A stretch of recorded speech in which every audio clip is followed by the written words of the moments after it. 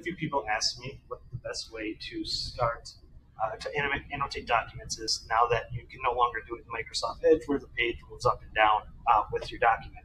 Uh, the best solution I found so far is by using the MyViewBoard software that comes with your board. Uh, you're going to open this up and it's going to ask you to log in every time. If you do download the app, uh, there's a QR code in the bottom corner here that you can uh, click on and uh, it'll log you in automatically. You can see my face down here. Um, so uh, the best way to open it up is to click on this box right down here. It's called the magic box. Uh, it's that one. So I'm going to click on that.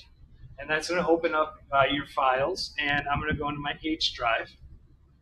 Um, and this works with anything that is uh, saved in your H drive. Unfortunately, it doesn't work with things saved in your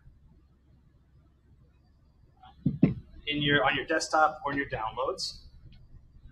Uh, so here, uh, it's going to bring every page of that document into a separate page. So I can't still can't scroll up and down, but I can move back and forth between the pages um, here uh, using this, and then I can just grab my pen and I can, excuse me, start showing uh, different things to my students. Uh, then, when I'm ready to go on the next page, I can just go to the next page, and I can annotate things here. Uh, so that's the best solution I found so far. Uh, if you have any questions about that, please don't hesitate to talk to your tech coach.